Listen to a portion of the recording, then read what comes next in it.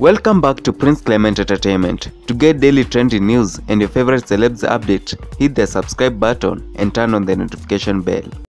It is sad to announce that celebrity radio presenter and voiceover artist Nick Odhiambo is in mourning following the untimely death of his son, who was born on 25th June 2021.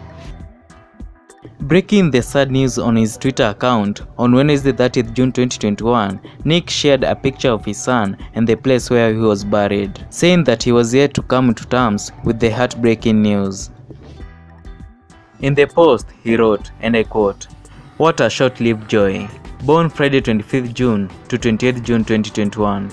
Been celebrating you and giving mom space to heal. Then I'm told you were buried yesterday and just seen your new home. RIP son.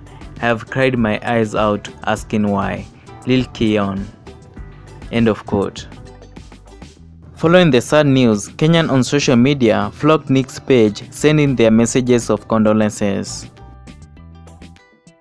May his soul rest in peace. Sincere condolences to the family, friends, and colleagues. Thank you guys for watching. Don't forget to subscribe, comment, or share.